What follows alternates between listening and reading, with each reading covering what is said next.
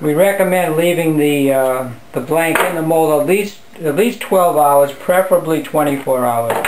And the reason we do that is if, if you take it out too soon and it hasn't thoroughly dried, it will actually twist or start to straighten out on you and it won't look like the mold anymore. Now this is the this is all five plies. We did all five plies on this. I know I showed you initially just the two plies, but um, as you get as you get better at it, you can do all five at once. Well, now here we have our uh, five ply blank, and we want to we want to trace the shape and the location for the holes. Now, in this particular case, I'm using an existing tech deck. Um, that works pretty well if you're happy with the width and the shape of a tech deck. If you want something different, uh, you can make yourself a template. I made a template out of that same uh, thickness aluminum that we used to cut out the veneer. You could do the same kind of thing here. Uh, you can indicate where the holes are and you can trace around the outside shape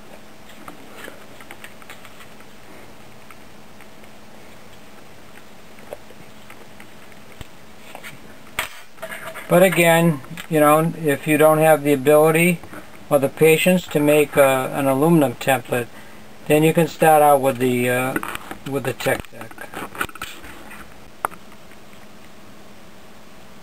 Depending on how uh, well aligned your plies are when it comes out of the mold, uh, you're more than likely going to have to uh, trim this down to the appropriate width. For instance, say you wanted to make a 30 millimeter board, 30 millimeter wide board.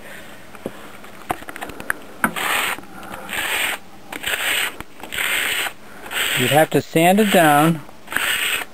I would start out with an 80 grit sandpaper because it's pretty coarse and it'll cut pretty quickly. And then gradually uh, use a finer sandpaper until you get it down to the width you need. Now using your vernier calipers, as you're, as you're sanding your board down, you're going to want to measure as you go along to make sure that it's coming down to the appropriate width. You also have to measure from where you've indicated that the holes are going to be so that the holes are an equal distance from the side. You know, this is one part of the operation where you're going to have to be careful and you're going to have to measure as you go along. Now using a, uh, in this case we're using a 4 inch uh, disc sander.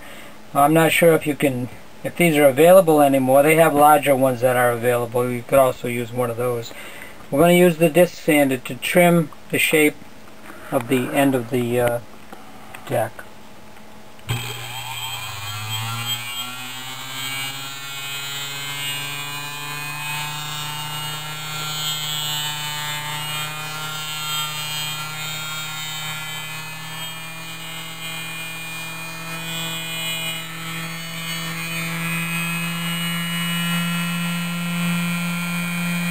After you've finished uh, uh, trimming it with the sander, you can refine your shape using a, uh, a file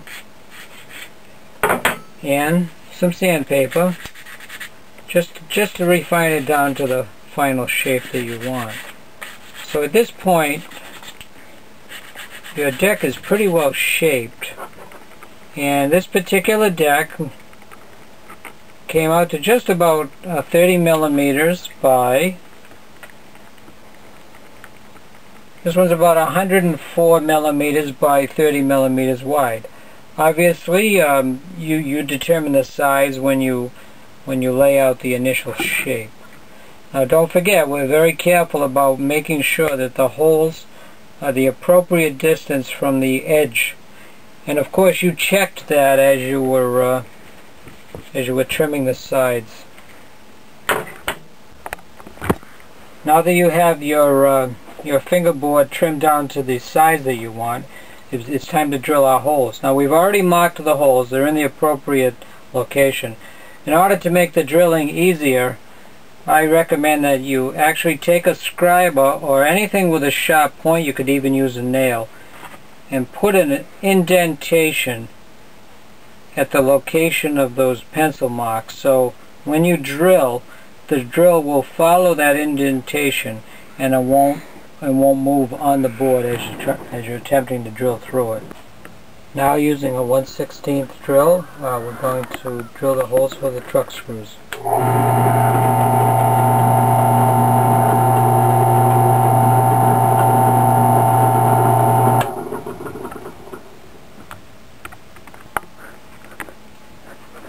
Using uh, an eighth inch drill, we're going to have to do the uh, do the countersinks now. Now it's very important that you set the stop on the drill so that the when you're drilling down it doesn't go all the way through. You want to go through you want to go down just enough so that the heads of the screws are flush with the top of the uh, top of the deck.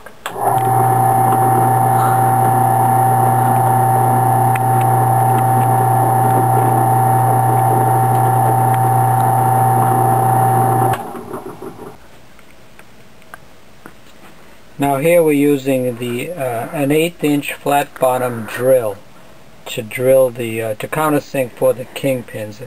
Again you have to set the stop on your drill press so that you only go down no more than one millimeter when you drill for the uh, for the kingpins.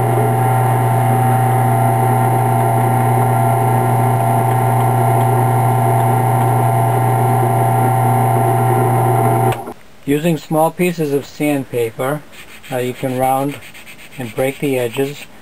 I would use a, uh, a coarser sandpaper to start, again maybe an 80 or 100 grit, and then finish it off with the with the 220 or 320 to get a nice nice smooth rounded edge. Now the uh, the finish on your deck is is pretty much up to you. Uh, you can use a, a, spray polyurethane or a spray lacquer or even a even a brush on lacquer or a brush on polyurethane. Uh, if I've left anything out of uh, out of this video or if you have any uh, questions feel free to email me through my website and uh, I'll be happy to get back to you.